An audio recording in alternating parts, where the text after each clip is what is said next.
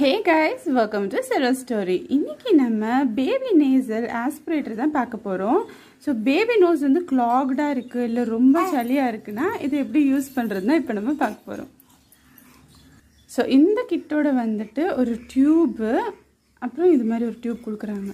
இந்த ஸ்பஞ்ச் வந்து இருக்கணும் இதை வச்சுட்டு இதை இப்படி ஃபிக்ஸ் பண்ணிவிடுங்க ஃபிக்ஸ் பண்ணிவிட்டு இது வந்து பேபி நோஸ்க்கு போகணும். இதை வந்து நம்ம உரியணும். உரியும் போது பேபி நோஸில் இருக்க அந்த ஸ்டஃபிங் எல்லாம் வெளியே வந்துடும் கிளாக்ட் எல்லாம் வந்துடும்